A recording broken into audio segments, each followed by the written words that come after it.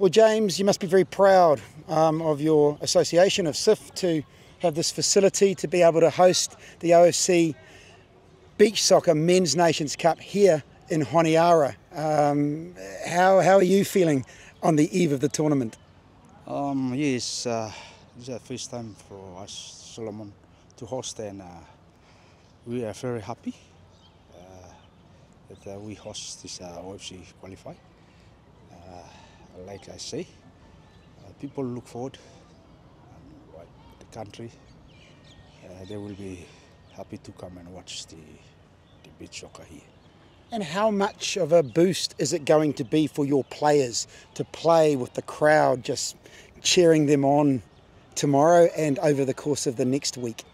Yeah, I think we have uh, upper hand because uh, we play at home ground and uh, the crowd will be cheer for the boys. So it's like it's extra uh, power or energy for the boys. Tell me a little bit about your team. You've got some players who played last year in Tahiti, but you also have some new players.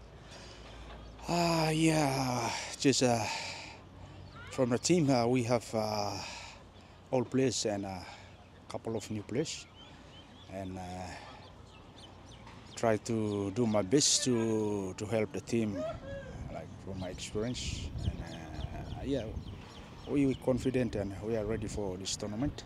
Like we are hosts, so we must do our best. Lastly, the fans here are passionate. What's your message to them?